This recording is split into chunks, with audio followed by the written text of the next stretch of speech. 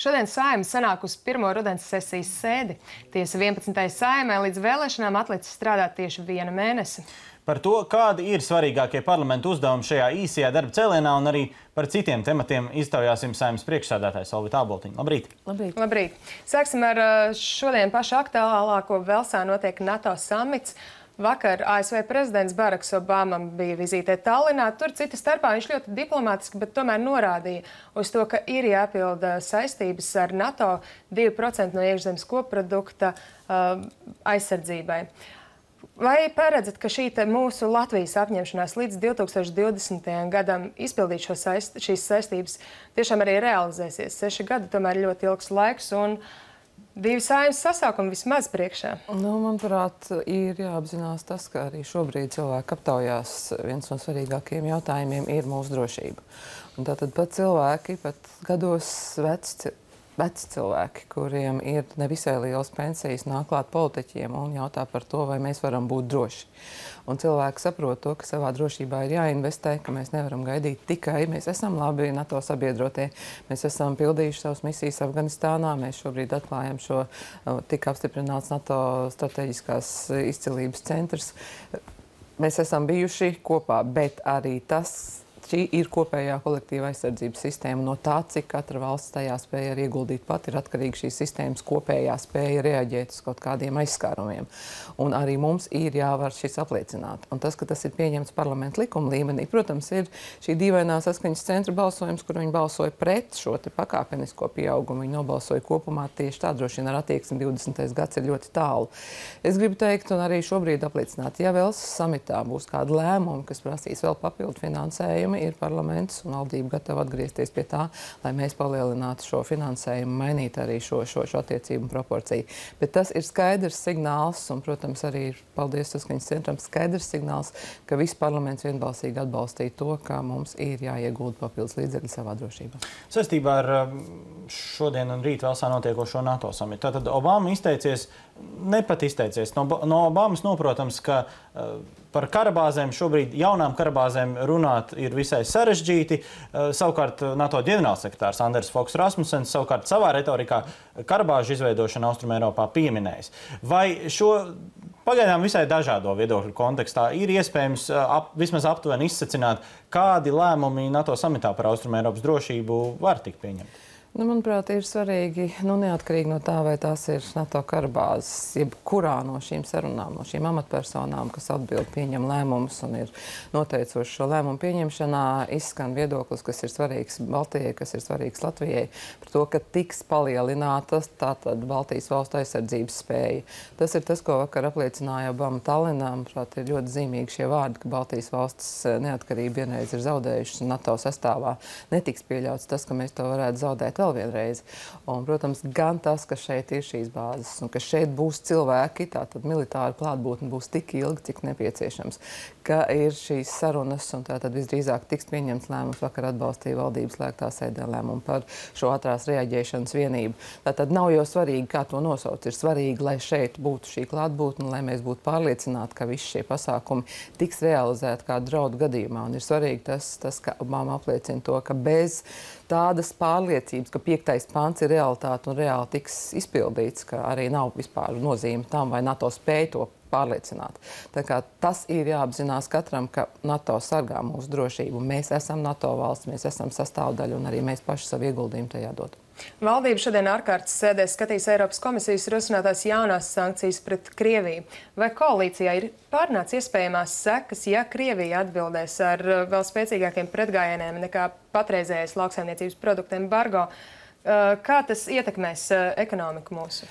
Tas ir katru dienu dienas kārtībā. Jautājums par to, kādā veidā attīstās mūsu ekonomika ar situāciju Ukrainā, ne jau arī tikai sankciju ieviešana vien pati pats militārais konflikts ietekmē mūsu ekonomiku. Un tas ir valdības dienas kārtībā katru dienu. Un es lasīju arī premjeras paziņojumu vakardien, ka tiešā veidā šīs eh, trešais sankciju lokus neietekmēs uh, Latviju. Bet, protams, un Krievija var izdomāt, kādas šīs bija neproporcionālas sankcijas vērstas tieši pret pārtiks ražotājiem, pārtiks produktiem. Mēs redzam, kā tas pats ir, ir, ir šis mīts, ka tas Krieviju neietekmē. Bet, ja mēs paskatītos arī Krievijas mēdījus un tā rūpīgāk, gan dažu Krievijas ministru izteikumu par to, cik tas maksā Krievijai, jau šobrīd arī tas, ko runā uzņēmēji par to, kā šādā veidā pie šāda tirgus, cik ir Krievijas rubļa stabilitāte, kā tas var ietekmēt un cik atkal savukārt vispār mēs varam būt droši pie šādas rubļa svārstībām un, un, un nestabilā seguma savus preces uz turieni eksportējot. Turisma firmas aizverās, bankas bankrotē, tā nav. Tas ir, tā ir tāda ļoti liela bravūra šobrīd, ko izpilda kaimiņu valsts, pasakot, ka šīs sankcijas neietekmē. Un, protams, ja mēs redzam, tas, ka Krievija vakardien runā militārā doktrīnā, pat kad esot jāmaina par atomieročiem un tam līdzīgi, ir arī Eiropas valstu atbildība par to, lai šis konflikts tiešām neeskalētos. Ja provocē uz šādu konfliktu, ir jādara viss, lai tiešām mēs varam būt droši, ka šeit būs NATO un mūs aizsargās, bet mums ir jādara arī viss, lai, protams, neiestātos reāla karadarbība. Un tomēr vēl par sankcijām vai ir veikti aktualizēti aprēķini par to, kāda varētu būt ietekme uz Latvijas tranzītu, piemēram? Eh, ir veikti, manuprāt, arī šodien, cik es zinu, satiksmes ministrs tiekās pieņemsim ar pārstāvniecību Latvijas auto, kā viena no tranzīta, tranzīta šīm nozarēm, kas ir tieši tāpat gan osta, gan dzelzceļš. Katru dienu tie, tiek tas uzskaitīts. Vakardien Eiropas lietu komisija skatīja tieši bija visas lauksaimnieku organizācijas, un bez tā, protams, kas tiek runāts, kādā veidā šodien saima pieņems steidzamības kārtībā divos lasījumos eh, grozījumus, lai mēs varētu izsludināt zaļo iepirkumu. Ir, ir atvērtas, ir šī panākta šī vienošanās ilga darba rezultātā ar Ķīnu par mūsu produktu tirgu uz Ķīnu. Tika lemts par to, kā mēs tātad papildus dot naudu izstādēm, pārtiks izstādēm, kur mūsu lauksaimniekiem tātad doties. Ir, ir, ir, ir šīs pusdienas mūsu uh, trešās klases skolniekiem, kurā arī ir tomēr jādomā par to, ka tās ir Latvijas preces. Un es tiešām aicinātu uh, Latvijas uzņēmējus, nu tā nevis tik ciniski arī tomēr solidarizēties šajā brīdī, un ja kaut kas paliek pāri, ir gan bērnu nami, gan, gan, gan vecļaužu pants pansionātu, kur šie cilvēki būs priecīgi un kaut vai par nelielu samaksu un negās to visu ārā. Jo tā mēs šobrīd runājam par mūsu valsts drošību un neatkarību. Bet, ja mums uh, tiek skarta mūsu enerģētikas nozara, ko mēs darīsim? Mums šobrīd, vakar pārunājot arī ar, ar, ar premjeru šo jautājumu, tātad, protams, gāzes krātuvēs ir, gāzes krātuves ir piepildīts par 70%. Un jebkurš no šiem pasākumiem, arī, protams, 26. oktobrī atklās Lietuviešu LNG terminālu, tātad savēju atvesto kuģis atbrauks no Korejas, būs svinīga atklāšana.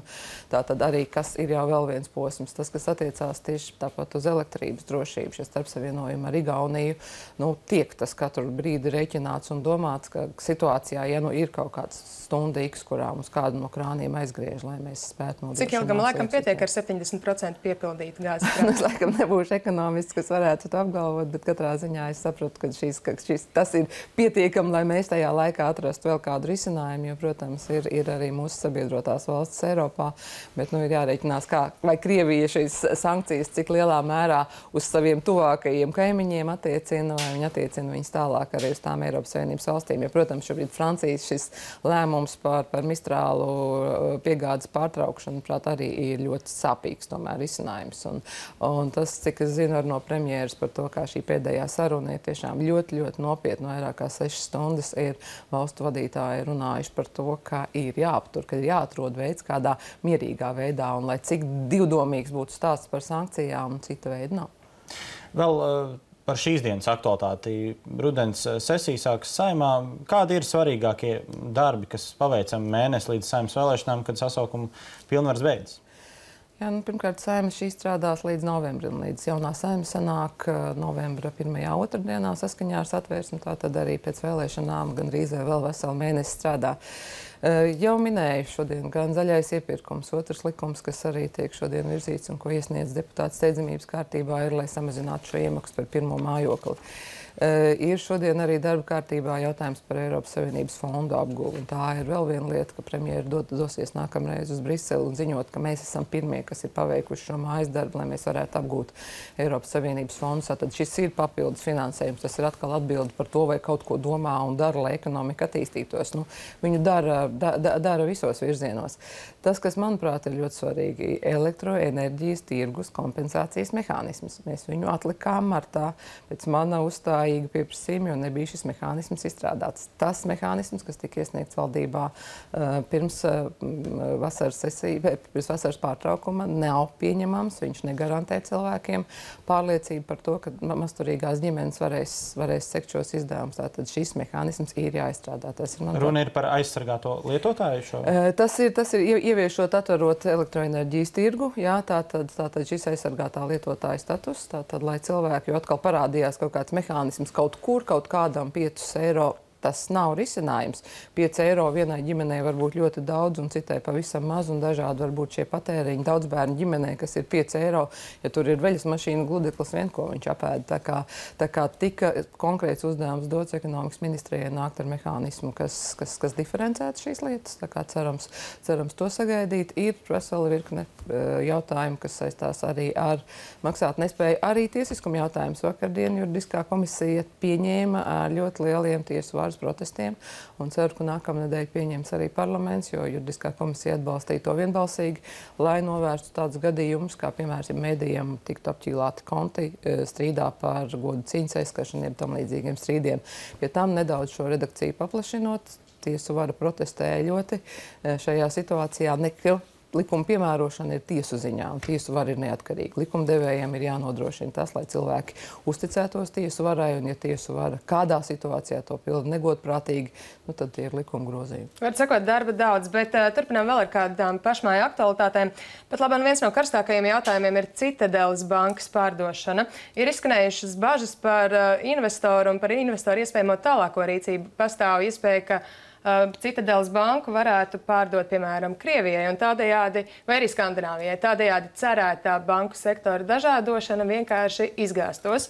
Vai koalīcijai ir apspriesti veidi, kā Latvija, slēdzot šo pārdošanas līgumu, ar investoru izsargāsies no šiem draudiem? Un šie jautājumi tiek skatīti valdības slēgtās sēdēs. Un, un cik zinu, ir tieši ļoti rūpīgi vērtē jūsu pieminētos riskus. Un tieši tāpēc gan par pircējiem tiek, tiek, tiek lūgts būt pārliecībai gan ārtiesību sargājušo institūciju, cik ir viņu rīcībā pieejoša informācija. Un, protams, arī finanšu un kapitāla tirgu šī uzraudzība ir ļoti svarīga. Tātad, lai izvērtētu, vai tas nav kāds viltus investors, no rezultātā mēs labi strādājošu banku vienkārši no viņas neatbrīvojamies, tāpēc, ka tas ir no, no Eiropas Savienības nosacījumos. Tā kā, manuprāt, bažas tam nav, šie riski tiek vērtēti. Vēl kāds pārdošanas process ir Liepājas metālurgs. Tur tās bažas ir tādas, ka šobrīd eh, starp diviem iespējamiem investoriem ir eh, abi divi ir saistīti ar nestabilo, šobrīd nestabilo Krievijas un Ukrainas vidi. Tāpat iespējams par eh, investoriem maz atrodamā publiskā informācija liecina, ka iespējams šī investori nav tik uzticama tā informācija arī, kas izskanējusi medijos. Vai kādam būs jāuzņemas atbildība, ja šis pārdošanas process izrādīsies ārkārtīgi neizdevīgs? Pirmkārt, galvenais nosacījums, lai pārdotu metālurgu, ir, ir pārliecināties par to, ka šis atkal nav viltus pircējs, kuram interesē izpārdot krāsnes, eh, vienkārši mazināt konkurenci kaut kur citur nozarē. Jo mērķis eh, pārdodot eh, liepājas metālurgu ir, lai viņš iespējami ātrāk uzsāktu savu ražošanu. Un tieši tas arī, cik es zinu, ir tas, ko administratori vērtē, vērtējot šos pircējus. Arī joprojām notiek tiesības sargājušās iestādes veids pārbaudas par šiem konkrētajiem pircējiem. Ne tikai tāpēc, ka ir izskanējuši izskanējušas bažas publiskajā telpā, bet tāpēc, ka tiešām tas ir vienam reģionam ārkārtīgi svarīgs strateģisks objekts, kurā, kurā ir iesaistīti tik daudz cilvēki, kuriem arī šobrīd tolīt beidzās šis termiņš, kurā valsts var maksāt šos pabalstus. Tātad es zinu, ka Saskungs jau ir vērsies valdībā situācijā, ja ne, neatsākās ražošana, tātad, lai risinātu, kādā veidā šos cilvēkus neiedzīt šīs maisaimniecības absolūtā nabadzībā. Tātad risinājumi tiek meklēti gan pie tā, ka uzņēmums sāks strādāt, ko es ļoti ceru, jo šobrīd nu, tā informācija ir pietiekami pozitīva.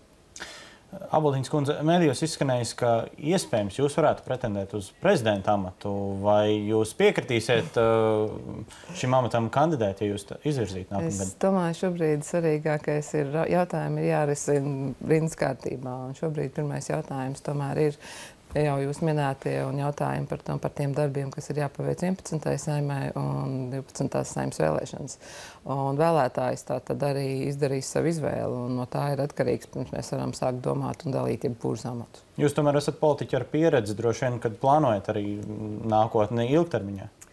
Es plānoju nākotnē, ilgtermiņā, un arī jums varu teikt, ka, protams, pirmā mums ir premjera kandidāte, ir izvirzīta Lemdot Straujuma, un šobrīd ir šis būtiskais jautājums, kā Eiropas Savienības prezidentūra, kurā ir nepieciešama pieredze, tātad to vienkārši fiziski vadīt. Mēs, gan, protams, arī parlamentā mums ir plāns B, mēs esam ar vienu britu firmu noslēguši apmācības līgumu, ja gadījumā parlaments nomainās par 80% un cilvēki nespēja vadīt sēdes, ir vienkārši fizisks process vadīt sēdes, tātad es varētu turpināt vadīt šo procesu bet, bet es saku, galvenais ir, kā lems vēlētājs. Vēl par kādu saimnes aktualitāti. Mums ir jautājums. Pirms pāris nedēļām uh, saimnes deputāti pauda satraukumu. Atsevišķi saimnes deputāti pauda satraukumu, ka uh, iespējams tātad viņu telefona sarunas frakcijā varētu noklausīties. Tāpat ir izskanējusi diezgan plaši šī informācija par jauno drošības dienestu saimā kas uh, iespējams šīs darbības varētu veikt. Kādi tad īsti ir tie argumenti par labu šim drošības dienestam? Es aicinu arī jūs nemaldināt sabiedrību, jo es jau šos komentārus nevienreiz vien teikusi. Ir daži politiķi un, un daži ierēģi, varbūt, kuriem ir vēlme šajā situācijā maldināt sabiedrību. Un eh, jautājums par saimnes drošību, tas ir jautājums par vienu cilvēku, kurš atsevišķi atbildētu par drošību. Tas ir Nacionālās drošības komisijas ieteikums, kuru vada valsts prezidents Zatlerkungs. Ir ļoti liels problēmas jautājums. Es pat pie jums šodien nākot iekšā televīzijā nopriecājos, cik burvīgi jūs esat sakārtojuši jautājumu. Arī televīzija nav tā vieta, kurā katrs var iet un nākt, kad grib, un tam nav kontroli. Ir jābūt pārliecībai par katru cilvēku, kas ienāk saimā, kur viņš ir un ko viņš tur dara. Jo, protams, tas ir nodrošināt vienlaikus to, ka šī iestāde ir atklāta, un, un, un, un no otras puses, ka tur tiek garantēta drošība gan strādājošajiem, gan apmeklētājiem. Tas šobrīd, diemžēl, nav darīts, un es nesaukšu jums šos šausminošos piemērus bez jau trīs trīs no saimnes prezidija galda nozaktajiem datoriem gaišā dienas laikā, kas, kas vienkārši pierāda, ka ir kādas problēmas.